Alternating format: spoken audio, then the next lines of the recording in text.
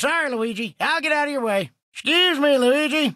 Luigi, what was that for? Hey, Luigi, I might need some new tires. Just making sure you're awake, Luigi. Luigi, I thought we were friends. Ah, Luigi, scusi. I'm sorry I looked at tires online, Luigi. I'll never do it again. Let's start with Luigi. When he's not yapping about tires, he can surprise you. Have you been following Luigi lately? Probably not. But you should. I want to talk about Luigi right now, so here I go.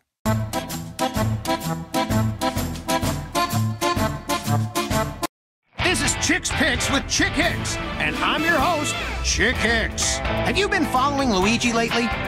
Probably not, but you should. Moments ago, he cruised to a mighty impressive first place finish. I tell you, for him, this was a big win. What did you think, Miss Fritter?